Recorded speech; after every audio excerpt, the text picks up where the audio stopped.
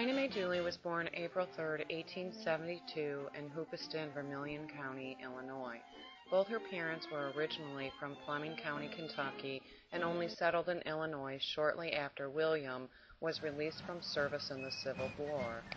William W. Duley's military career lasted from 1861 until 1863, when his war wounds prevented him from continuing to serve his country. He suffered a musket ball in his knee, which was never removed. It was while he was recuperating that he met, and won the hand of Letitia Wilson. After they were married, William found work first as a horse dealer, but eventually took up farming on a plot outside of Hoopeston. Their children were Ina Mae Duley, George Wilson Duley, and John Stanley Duley. The family moved to the Dakota Territory to a 160-acre homestead claim in 1883 when Ina was 11 years old. There, Ina attended the Coldest Schools, which was a sod shanty about four miles from their homestead in Hand County. Their stay in Dakota was short-lived. A devastating blizzard in 1886, resulting in scores of lives lost, forced the decision that the family return to Illinois.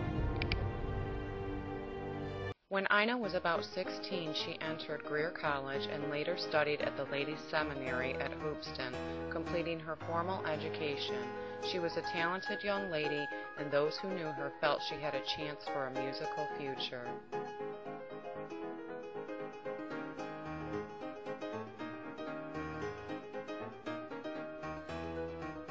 Ina taught school in Illinois from 1892 until 1900, where she met her future husband, James Weston Ogdon. James and Ina were married on September 2, 1896 in Hoopeston, Vermilion County, Illinois. At that time, he was employed as a railway postal clerk and traveled back and forth on the Wabash Railroad line between Toledo, Ohio and St. Louis, Missouri. Their only offspring, William, was born in Hoopeston on July 22, 1901. After that, the family decided to relocate to Toledo. There, William, who was academically gifted, eventually became an editor on the Toledo Times newspaper. Both Ina and James would become successful Sunday school teachers for the next 25 years at the Northwest Church of Christ. Ina enjoyed the opportunity of using her original verses with the young students. Ina was also keeping house and writing almost daily. Very early in her teaching career, Ina Duley had strong evangelistic leanings and hoped to become a preacher on the Chautauqua circuit, but marriage and family would come first. Chautauqua was a social and cultural phenomenon which began in 1874 and expanded and permeated rural America until the mid-1920s. Going to Chautauqua meant music, laughter, relaxation, and stimulation for millions of rural Americans. When Chautauqua came to town, there was entertainment for the whole family and the entire community. About 1912, when her father suffered a paralytic stroke, any plans Ina might have been contemplating were canceled. She decided to remain at home to care for her father. The song, Brighten the Corner Where You Are, is said to have been written to cheer him while she sat in the upper corner bedroom of her rustic home on Summerfield Road in Lambertville, Michigan. Charles Gabriel grew up on an Iowa farm. Gabriel taught himself to play the family's reed organ. He began teaching and singing schools by the age of 16 and became well known as a teacher and composer. He served as music director at the Grace Methodist Church in San Francisco, California, and then he moved to Chicago, Illinois. In 1912, he began working with Homer Rodeheaver's publishing company. Charles Gabriel wrote the music to Brighten the Corner Where You Are.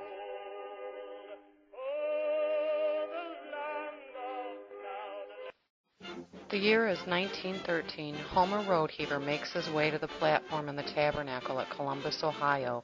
The crowd of 5,000 anticipates the excitement yet to come.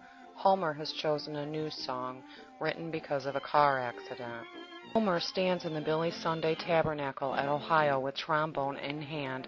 At the first notes, the dust rises from the sawdust floor as thousands jump to their feet.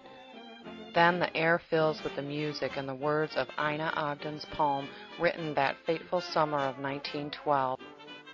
Homer Rodeheaver's recording of Brighten the Corner Where You Are made the top of the charts in 1915. Billy and Homer gave the song to over 100 million in the 200 tabernacles they built. Thanks to them, over 25 million copies of her song have been printed today.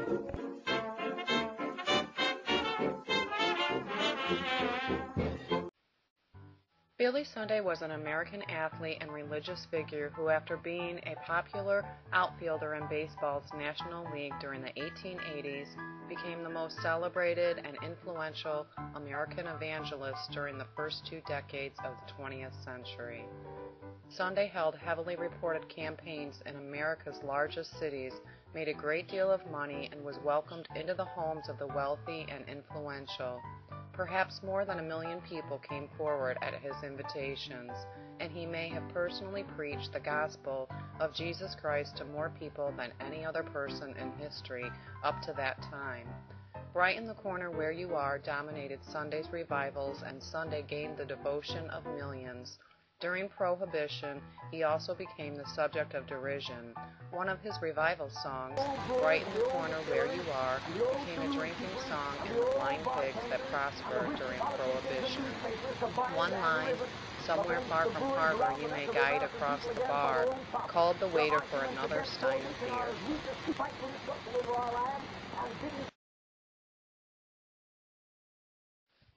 He piled image on top of image and became the nation's most famous evangelist.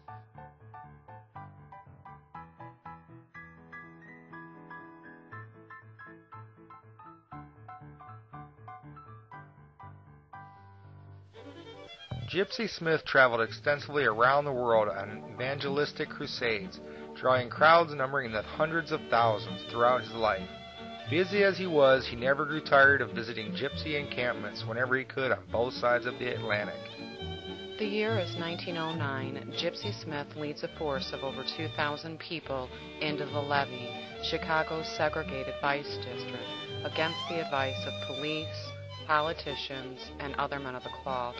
They march, sing, and pray to over 30,000 onlookers. The Tribune describes the scene.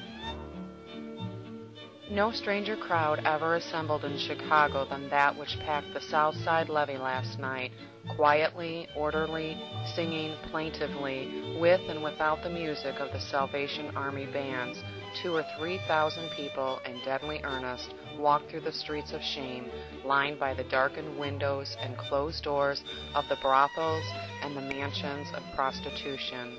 Men and women were on top of buildings, in wagons, and automobiles, leaning from windows and occupying every possible position of vantage. Ina Duley Ogdon's song was written in 1912 and would compete against the ragtime music of the day.